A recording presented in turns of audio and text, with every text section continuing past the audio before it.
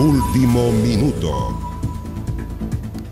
Vamos hasta Venezuela, donde un gran incendio se registra en la prisión del helicoide, sede del Servicio Bolivariano de Inteligencia Nacional, el SEBIN, en Venezuela, Caracas. La sede del SEBIN es conocida por ser el destino de dirigentes políticos y periodistas y activistas secuestrados de sus casas en plena noche y ciudadanos de a pie también detenidos por el gobierno de Nicolás Maduro, pero también llegan allí algunos criminales comunes, son imágenes difundidas también en redes sociales, lo que estamos viendo de cadenas eh, venezolanas, en la cadena TN de Argentina.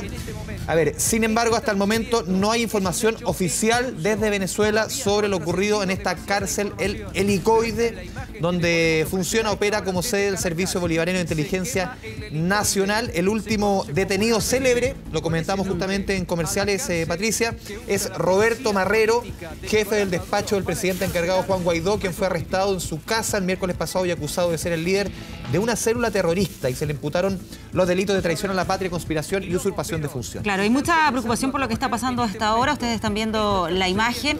Hay varios videos también que están circulando en las redes sociales donde se puede apreciar esta columna de humo negro. Se trata precisamente de esta cárcel que su nombre es helicoide, pero que es conocido como la sede del Servicio Bolivariano de Inteligencia Nacional, el SEBIN.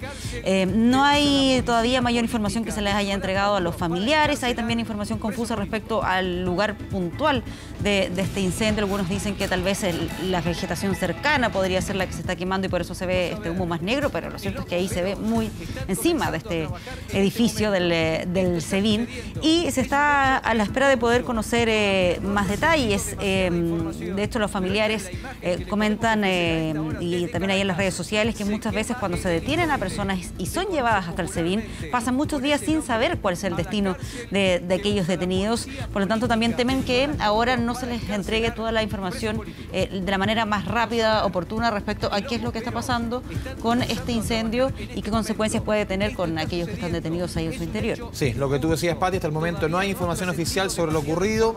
insistir, la sede del SEBIN es conocida por ser el destino de políticos, periodistas y activistas eh, anti eh, o contrarios al gobierno de Nicolás Maduro. Incluso el último, el último detenido que fue llevado allí fue eh, Roberto Marrero, mano derecha del presidente encargado de Venezuela, Juan Guaidó.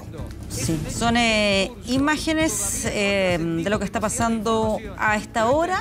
Vamos a quedar muy pendientes, atentos respecto a lo que está pasando con este incendio entonces que está desarrollando ahí en la sede del SEBIN en Caracas.